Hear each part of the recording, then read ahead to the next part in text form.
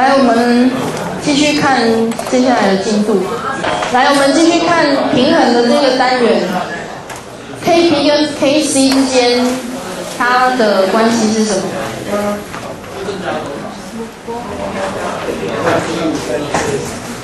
平衡常数啊，如果它是气态的话，不是可以用 Kp 来表示，但是也可以用 Kc 来表示吗？然后 Kp 跟 Kc 之间存在一个关系，是什么关系？Kp 跟 Kc 之间啊，有相等吗？那差在哪里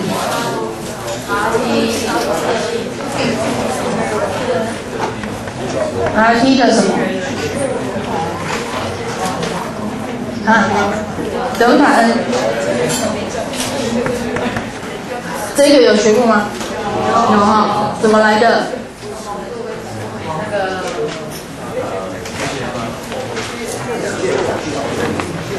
怎么来的？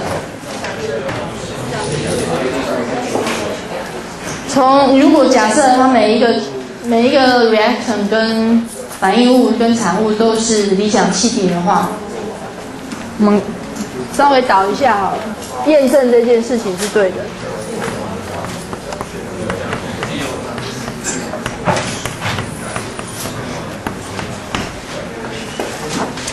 一般如果是平衡常数 Kc，你用浓摩尔浓度来表示的话，怎么表示？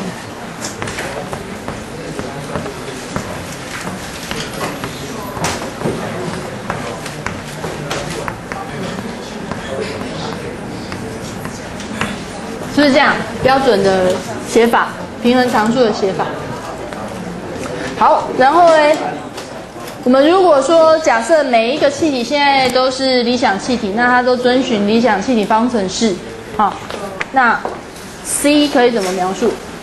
或是每一个浓度跟压力之间的关系，你要怎么描述？因为 PV 等于 nRT 嘛，对不对？那这边的话，你的浓度是怎么描述的？浓度是不是每体积分之它的摩尔数？好，所以你可以把这边稍微调整一下，就是 n 除以 v 的话，应该是等于什么？P 除以 RT，对不对？好，这这个就是你的浓度嘛，浓度等于这个。那所以呢，你这边可以稍微换另外一个方式来写，也就是 C 的浓度哈。可以等于什么？C 的压力除以它的 RT 的 C 次方，然后呢，D 的压力除以 RT 的 D 次方，然后这边一样啊，A 的压力，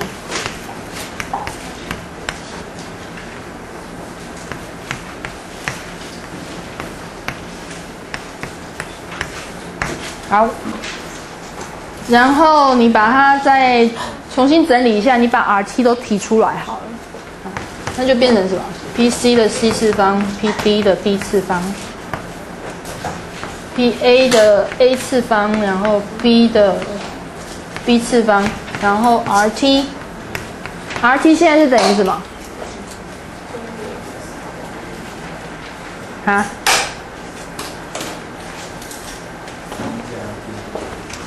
是不是变成 C 加 D 减 A 减 B，对不对？好，那所以就变成这个是什么？就 delta n 嘛，这个是不是就 delta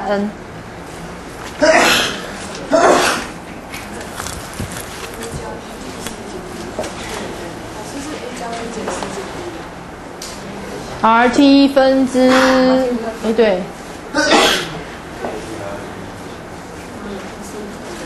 C 加除以这个负呃负负的，好，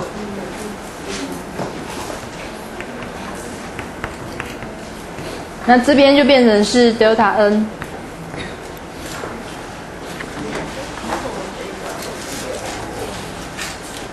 好。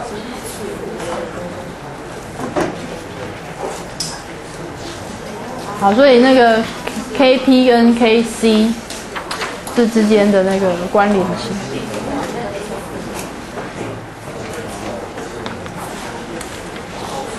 好，然后呃，平衡常数这边哈，其实我们认识平衡常数已经很久了。那你们有没有想过一个问题哈？平衡常数有没有单位？平衡常数有单位吗？没有，平衡常数没有单位。但是为什么没有单位？啊？被消掉吗？被什么消掉？嗯？被什么消掉？还有另外一个，你来想想看哈，我们在写平衡常数的时候，通常那个什么固体的浓度不会写进去，为什么？为什么？这边要引出要要跟大家介绍一个概念，叫做活度，active activity activity，有听过吗？啊？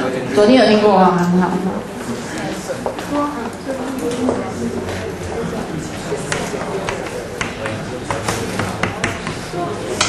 活度哈，简简简写的话，通常是小写的 a。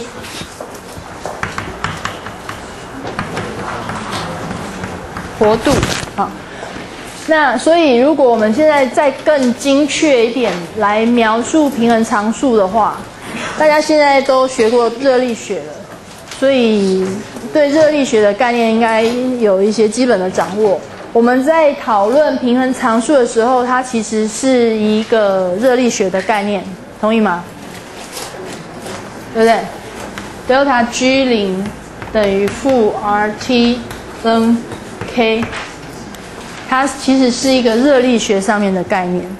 那其实我们平常习惯在讲平衡常数，它的全名叫做热力学平衡常数 （Thermodynamic Equilibrium Constant）。全名啊，它的正式的名称，就像比如说玛丽，但是其外国人啊，玛丽，但是其实他们全名是很肉肉等的。那 K 哈，它是热力学平衡常数。那既然是热力学，你们有没有发现，我们都常常都会有一个标准单位、标准状态、标准状态、标准状态啊？那所以其实 K 它的正式的写法呢，是应该要以活度、活度来描述的。所谓的活度，它就是比如说你现在用一个压力来描述气体，压力，但是它应该在描述平衡单位、平衡常数的时候，是它跟一个标准状态。的比值来描述的比值啊，就是真正的 the true equilibrium constant，或者是全名的 true thermodynamic equilibrium constant。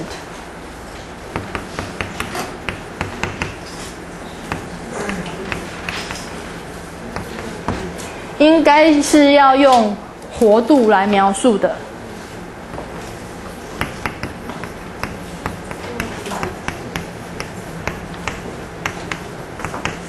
它应该是一个它这个值，比如说这个压力或者是一个这个浓度，它跟一个标准状态的比值。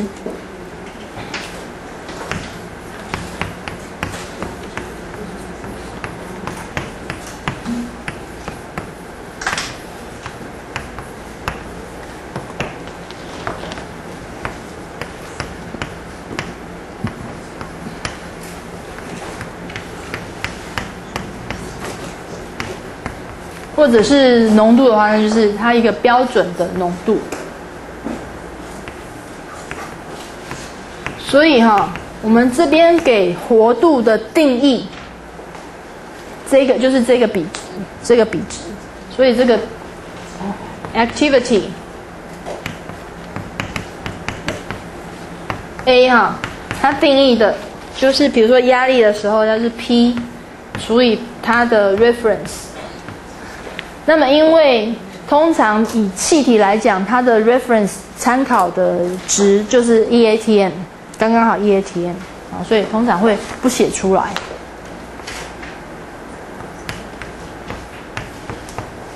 或者呢，concentration，它也是它比上它的一个呃标准参考的一个 state。好，那这有什么意义？它会它会导致什么样的结果？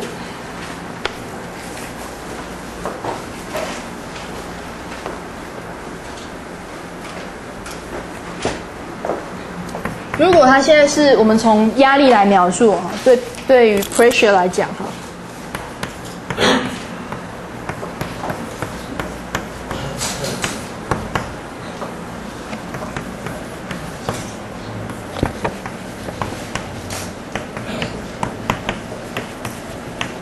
对气体的的话，它的标准的参考就是 eATM，所以刚刚那个 K 哈。它其实我们应该是要用活度来写的，就是 a c 的 c 次方，a b 的 d 次方。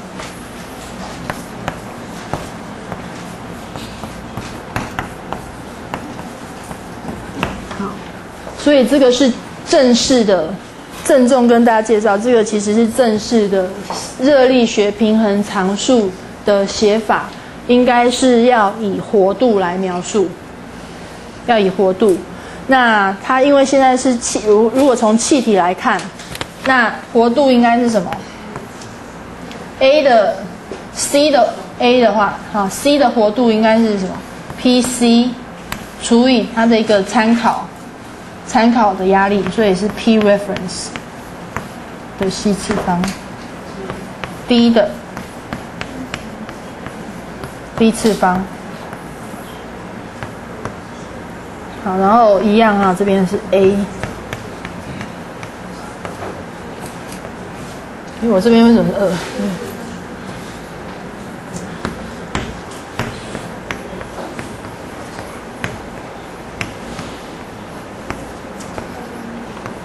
好，所以这个是它的正式的写法。那因为对于气体来讲，它的参考 state 参考的一个标准状态是一大气压，所以这边都是在一。从这边，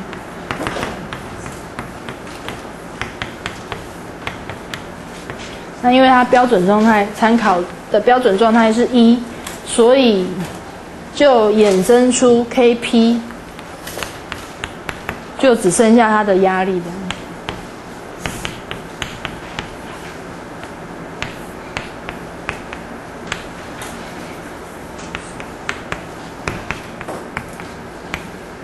变成这样子，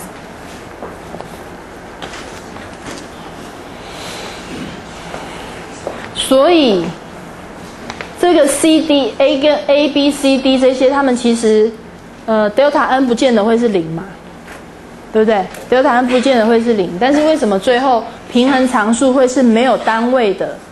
原因就在这边，因为它其实真正在描述的是一个比值，所以你压力的单位压力压力这边就消掉了。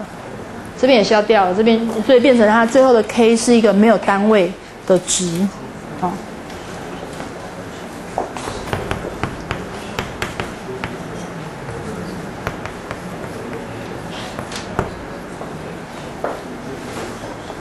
好。那一样啊。对于一个容易态，或者是你如果现在描述的 k 是 kc，你是用它的那个。呃 m o l a 来描述的时候，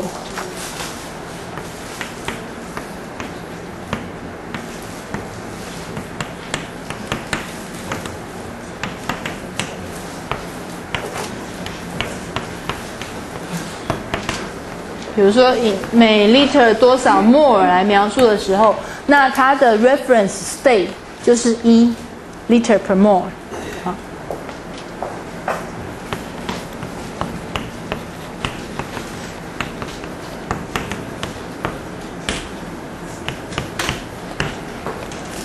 就是刚好是一，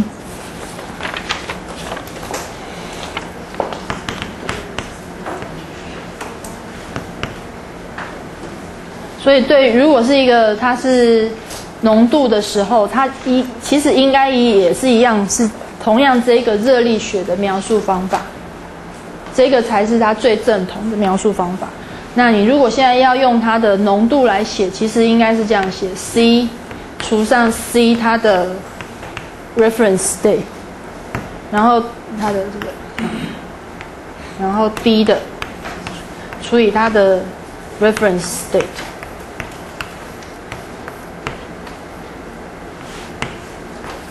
那因为 reference state 都是一嘛，一一 m，好都是一，所以这边也是消掉。最后就只剩下它这个本身浓度的描述方法。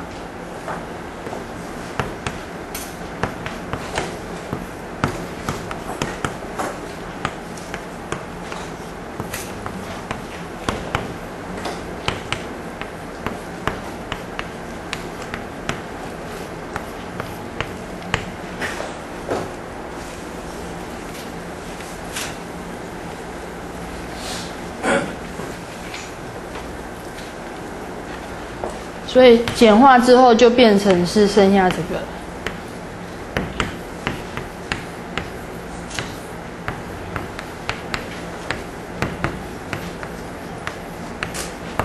好，变成这样。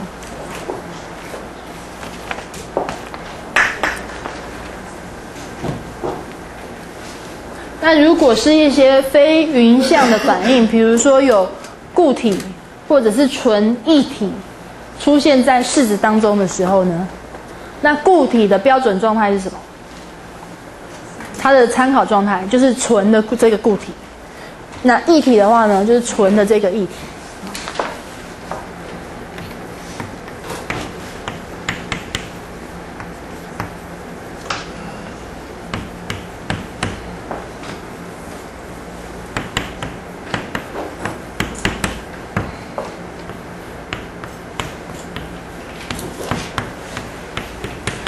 对于纯的固体或者是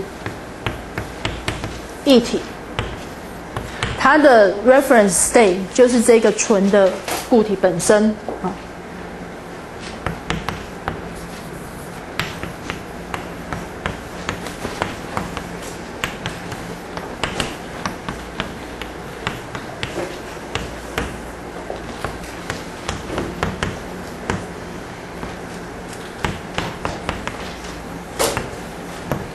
所以，对于固体来讲，它的活度是多少？就是一，或者是呢，纯的液体的时候，就是它它的 reference state 就是它自己，它就是一。好，所以我们来看一个例子，看这边这个。举例，比如说 CaCO 三、CO、CO two，好，这个是固体嘛？CaCO 三，固体，这个嘞，固体，这个呢，气体。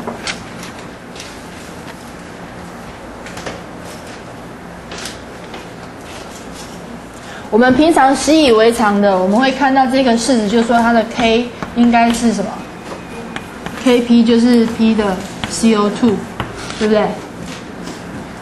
或者呢，我们如果用 Kc 描述的话，那就是 CO2 的浓度。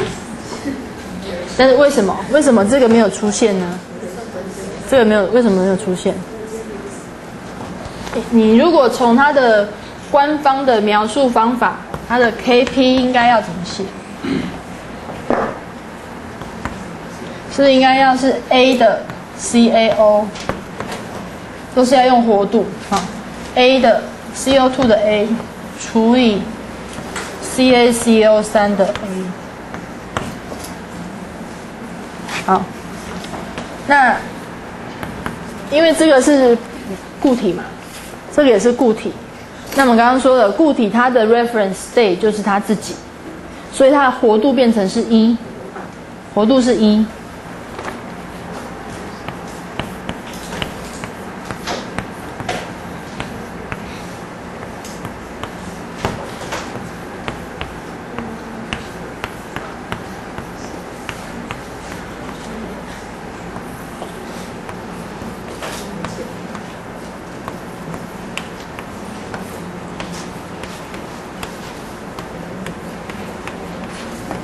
都是要有一个 reference day，。那这边因为是固体，所以这边变一。这个呢是它自己，所以它也变一。然后这边的话呢，它的 reference day 也是一。它的 reference CO2 的 reference day 哦，就是一，它用每 liter more 嘛，这边是一，所以变成怎样？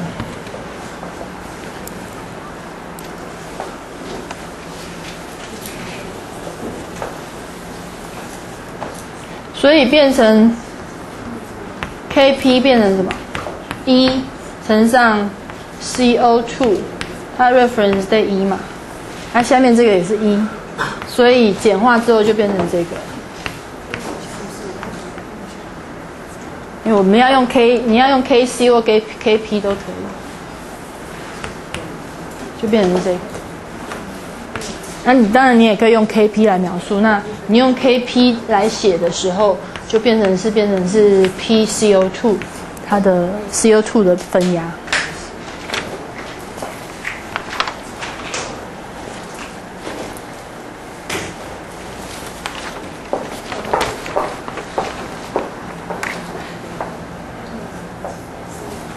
好哪里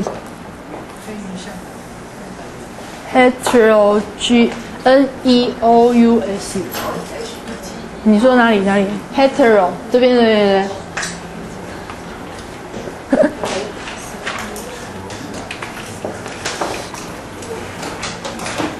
hetero，好，所以要有活度的这一个概念进来了之后，你就能够理解，终于懂了为什么 K。它是没有单位的，因为它其实每一个每一个浓度的写法，它其实都是应该用活度来描述，然后它会有一个 reference state。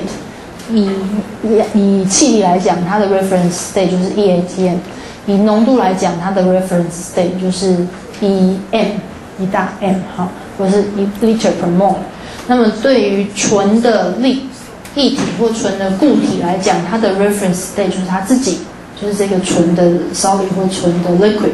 所以我们去描述 thermodynamic 的平衡常数的时候，你一旦用活度来描述，你就可以知道这边如果它是一个固体的话，它这边会被消掉，变成一，一就没有出现，它就对于整个平衡常数的大小就不会有影响了。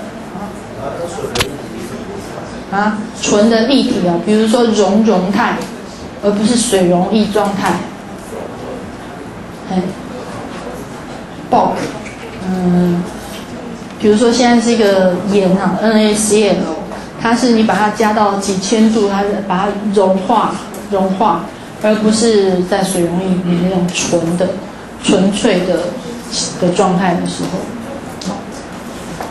好，所以我们现在第六章的内容哈，基本上对平衡的一些基本概念，应该都要有了哈。我们那个活度的的介绍是在六至三这边，然后六至四是啊六至四啊六至四的活度，然后六至五这边是非匀相的平衡，好，再来六至六。它这是在讲 Q 跟 K 的关系。那这边的话，我们从热力学那边已经看过了。好，然后一些简单的平衡的题目，还有勒沙特列原理，六支、八支勒沙特列原理。好，这一些嗯，有大概帮大家复习过。好。所以这边有没有问题？呃，六十九这边是讨论到说，如果对于真实气体，那可能会需要一个修正的因子，所以它有时候那个在描写活度的时候，前面会再加一个因素因子哈，那个伽马这边，你看一下两百二十九页，两百二十九九页这边哈，有时候它会前面加一个伽马。这个伽马叫做活度系数 （activity coefficient），它是针对如果这个气体它不是理想气体的时候，那前面要乘一个值哈，所以这边你可以看到伽马 is called the activity coefficient，去 correct for correcting 你看到的这个 observation to the ideal value。我们那个同性互融这边今天还没有时间讲到，嗯，因为讨论阅讨论考卷讨论太久了，那就下个礼拜再讲。